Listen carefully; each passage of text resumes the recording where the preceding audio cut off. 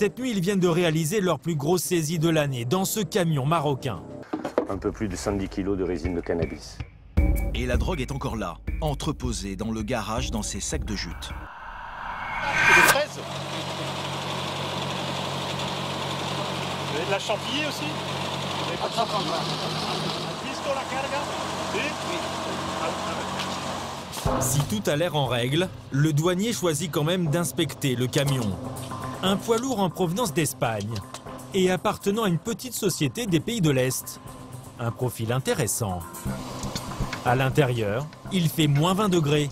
Impossible de contrôler les centaines de cartons. Alors Laurent a sa technique. A priori c'est homogène, c'est tous les mêmes cartons. Il inspecte quelques colis au hasard dans le chargement. Les Espagnols. Chercher Regarde les fraises. Ils sont pas trop pourris les fraises. Les 130 kilos qu'on avait trouvé dernièrement, c'était dans un camion frigo. C'est des oignons, des patates et la marchandise c'est pourri. Là, la marchandise elle est bien congelée.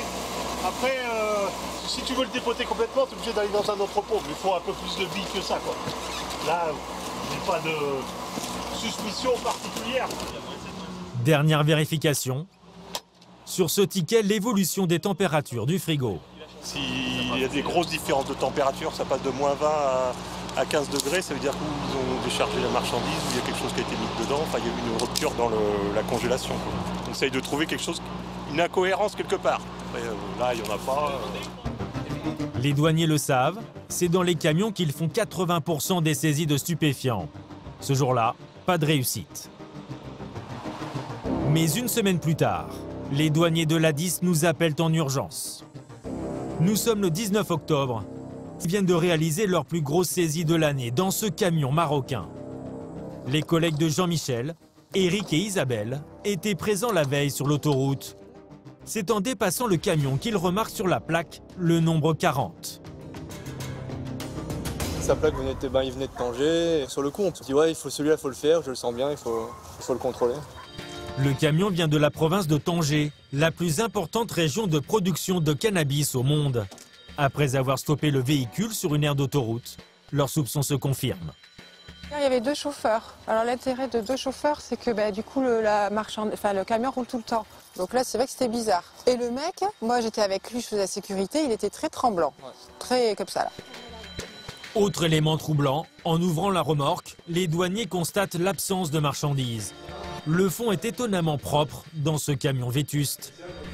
Et là, ce qu'on peut voir, la différence avec les vis au sol, qui sont toutes, euh, toutes noires, toutes anciennes, là, on arrive ici et c'est tout neuf. Les vis toutes neuves, ils voient bien par rapport à l'état général du camion, par rapport aux planches, euh, au sol, ça ne colle pas. Les douaniers ont filmé la scène au téléphone portable. Derrière ces panneaux en bois, voici ce qu'ils découvrent.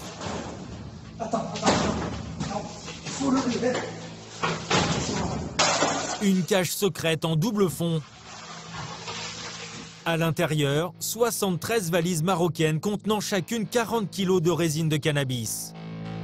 Le dispositif de double fond, très commun chez les trafiquants, est rarement d'une telle dimension. Ils ont créé une paroi pour faire un- une, ca- ouais, une cache aménagée et pour euh, gagner 1m20 au sol quoi. Là on voit bien, regarde. euh, Non, après euh, honnêtement c'est super bien fait. Au total, 2 tonnes 3 de stupéfiants pour une valeur record d'environ 17 millions d'euros. L'été, des millions de touristes se rendent en Andorre. De l'autre côté de ce poste frontière, voici le Pas de la Case.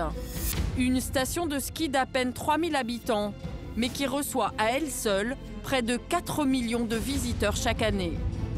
L'été, ce qui les attire, c'est l'absence de TVA. Alcool et cigarettes sont à des prix défiant toute concurrence. Bonjour. Dans les supermarchés, les cigarettes ne sont vendues que par cartouche et trois fois moins cher qu'en France. À ce compte-là, nos compatriotes n'ont jamais été aussi nombreux à se fournir ici, quitte à se mettre hors la loi. Celle-ci n'autorise qu'une cartouche et demie par personne. Cela n'empêche pas ce jeune homme de repartir avec un carton rempli à ras-bord. Bonjour monsieur, il en a pris combien là Ouais. 20 Ah oui, ça fait euh, beaucoup. Et euh, vous pensez qu'on a des risques si on en prend 20 aussi, nous Ah, le risque, il est toujours. Ouais. Ouais. Vu les économies réalisées, ce risque, tout le monde le prend ici. Et chacun a sa technique. Et là, ouais, vous avez combien de cartouches là, non 12.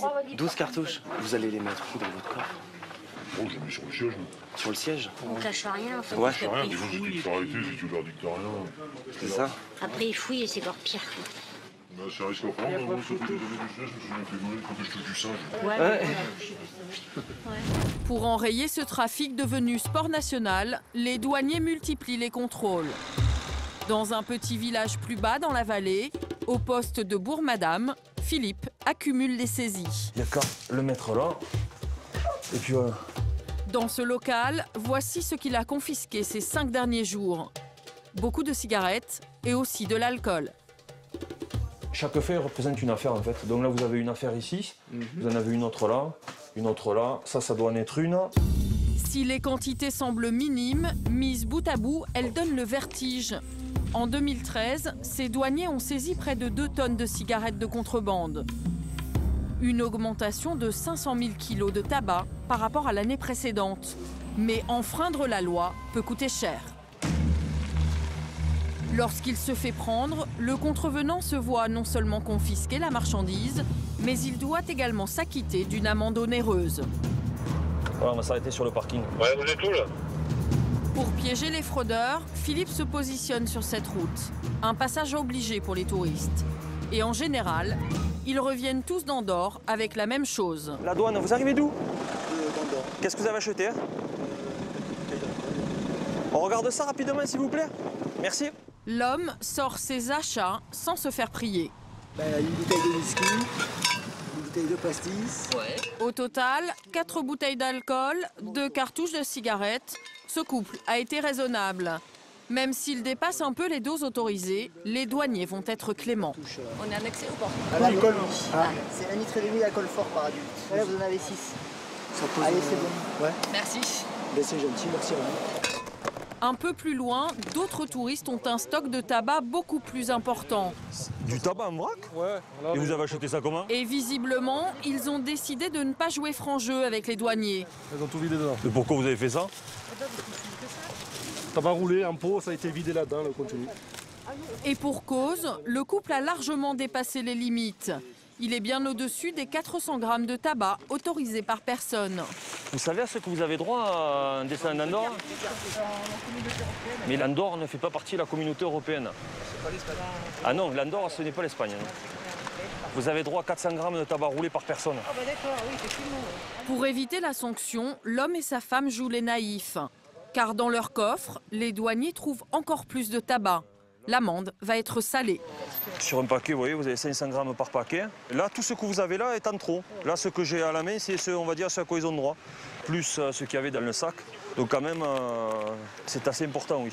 En tout, 14 paquets de 500 grammes, un pot de 700 grammes, l'équivalent d'une cinquantaine de cartouches de cigarettes. Sans compter ce qu'il y a dans le sac, là, ça va leur faire cher. Ça va coûter cher. Oui, c'est très cher. Sachant que si les gens ne peuvent pas payer tout de suite, hein, on peut leur saisir la voiture pour euh, sûreté pénalité. Voilà. Couple revenu modeste, Mireille et Gérald étaient venus spécialement de Lyon pour faire le plein de tabac pour l'année. Leur bonne opération vire au cauchemar. Si on a une grosse amende, on pourra pas la payer, alors c'est. La marchandise est saisie et le montant de la pénalité est calculé par rapport à son poids. Le couple est loin d'imaginer ce que cela va lui coûter. Chèque, espèce, carte numéraire. 1000 euros. Je suis au bout du rouleau. 1, 2 et 3. Alors, de du trésor public, madame. Donc là, ça vous coûte 1000 euros et en plus, euh, vous perdez. euh, Et en plus, je pleure, oui. Je pleure doublement là. Bon, ben, si c'est bon pour, euh, Bon, pour bah, moi, c'est bon. C'est pas bon, mais ça sera bon quand même. hein. Ouais. Allez, c'est parti. Finissez bien les vacances quand même 1000 euros d'amende, 500 euros de marchandises saisies. Le couple a tout perdu. Je suis dégoûté, moi, oui, je suis dégoûté, oui. Oui, parce que bah, c'est de l'argent foutu en l'air. Ouais, c'est de l'argent foutu en l'air. Mais bon, euh, après voilà. ça, bah, on savait, jeu, hein. on savait pas, on savait pas. hein. C'est le jeu. Un jeu cruel, mais vu l'ampleur du trafic, pour les douaniers, pas de place pour les états d'âme. Si certains trafiquants décident de passer leurs marchandises en force, d'autres optent pour la manière douce. Et ils redoublent d'imagination pour dissimuler leur chargement. Les caches aménagées échappent rarement à l'œil exercé des douaniers. Et voilà. Et là. Donc ça c'est le caisson qui- dans lequel il y avait les produits stupéfiants. Et ce matin, dans le sud, à la brigade du Pertus, Michel vient de découvrir une installation originale sous une voiture contrôlée il y a quelques heures. On cherchait une cache aménagée, on cherchait pas autre chose. C'est dans des bonbonnes de gaz que les trafiquants avaient dissimulé la drogue.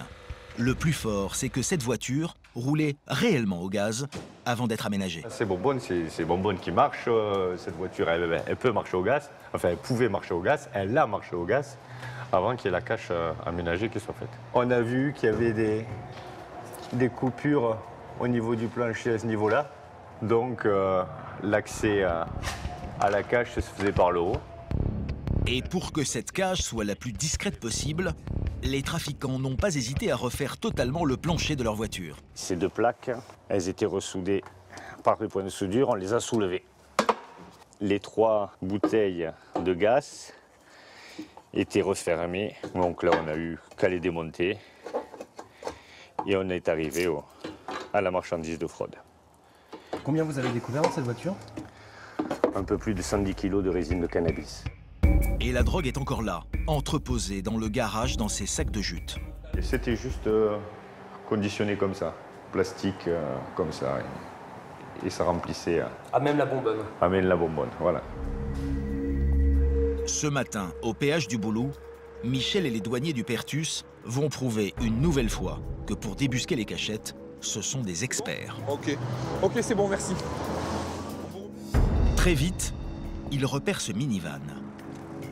Des plaques d'immatriculation lituaniennes avec au volant un conducteur d'origine ukrainienne. Dès l'ouverture du coffre, la présence de feuilles d'aluminium confirme les soupçons de Michel. que pour reboucher une cache, il n'y a rien de mieux que ça. Quoi. Il l'a lu comme ça, c'est pour éviter que si la voiture passe au scanner, on voit euh, la cache. Dans les coffres latéraux, un autre indice met la puce à l'oreille du douanier. Ouais, c'est refait tout ça. Ah bon Qu'est-ce qui vous fait dire ça Ouais, il y a une moquette qui est collée, une moquette n'est jamais collée. Ah, cigarette.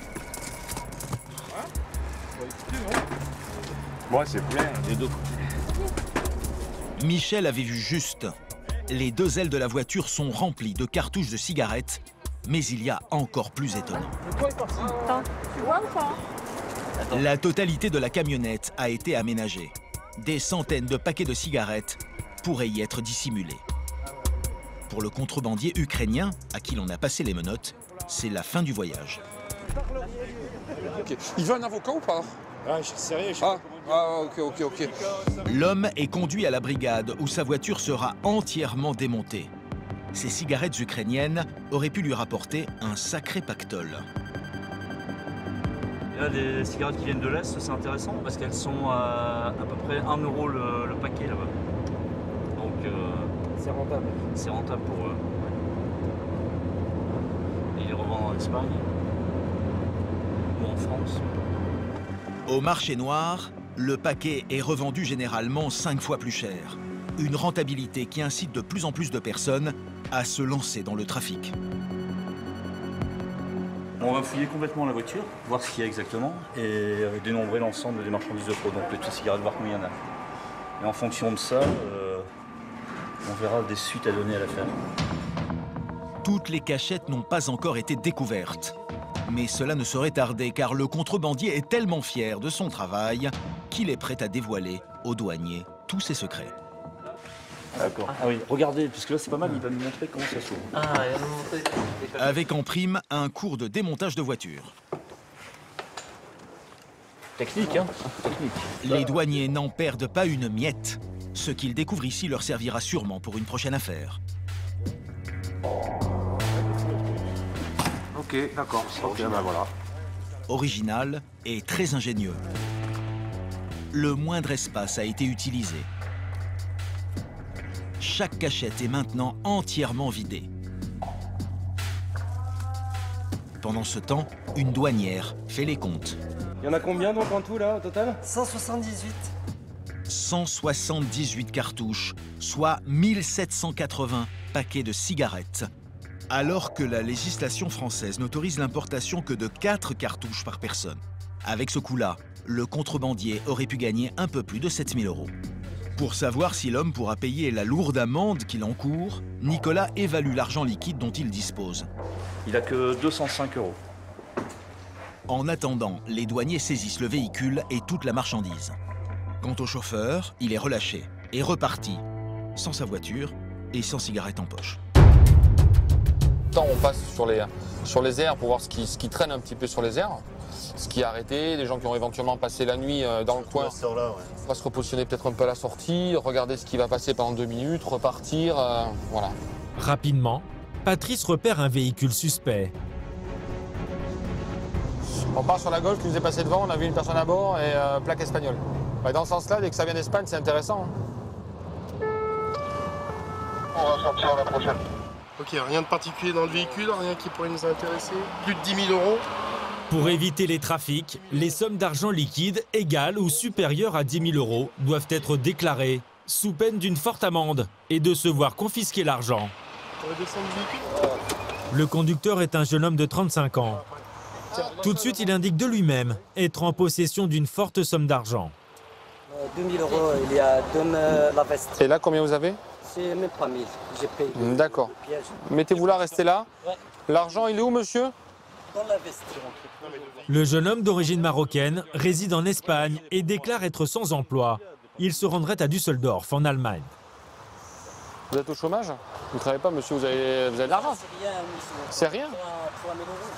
C'est pour vacances. C'est quand même pas mal, quand même, 3000 euros. Moi, je me balade pas avec ça, monsieur. 600 euros pour la route. Ah. Et l'argent, gardez-le avec vous pour l'instant. Mais les douaniers vont aller de découverte en découverte. Quand Lemon, le chien stup, passe en revue la voiture, le jeune Marocain se rappelle subitement qu'il avait autre chose à déclarer. Il y a- il y a toujours un déjà préparé dans la veste là-bas. C'est tout. C'est que ça, je Oui, c'est tout. Pour, euh, euh, pour, euh, je fais maintenant Ramadan. Après. Produit, cocaïne Non, non, jamais, monsieur. Non, jamais. Ça Contrôle, monsieur, comme tu veux. Deux joints que l'homme avait l'intention de cacher.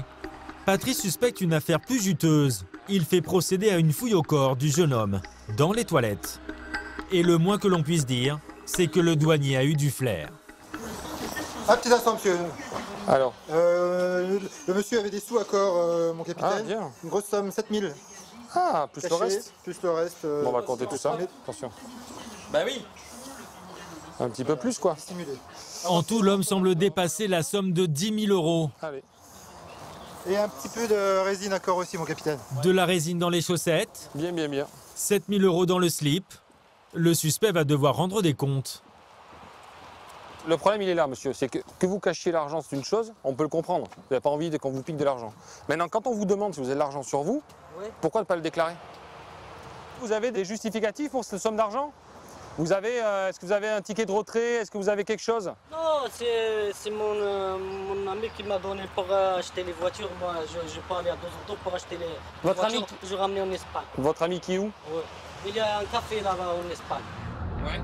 Pour poursuivre leurs investigations, les douaniers conduisent sous bonne escorte le suspect jusqu'à la brigade la plus proche. Pour Patrice, tout l'enjeu est maintenant de savoir si l'homme détient une somme supérieure à 10 000 euros. Si c'est le cas, tout son argent lui sera confisqué et il s'exposera à une forte amende. Les douaniers vont compter minutieusement chaque billet. Et après 20 minutes, voilà le total.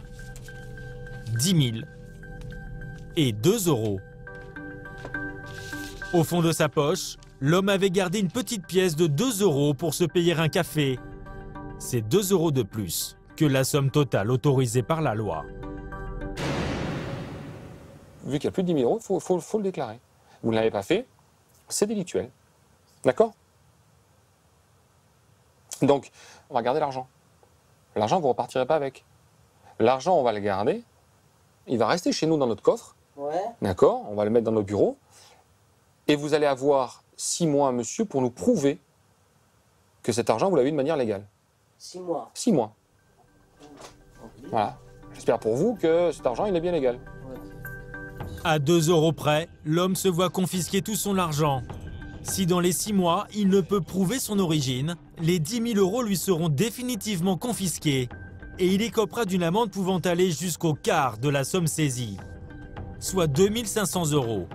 En 2017, en France, 66,5 millions d'euros d'argent sale ont été confisqués par les douanes.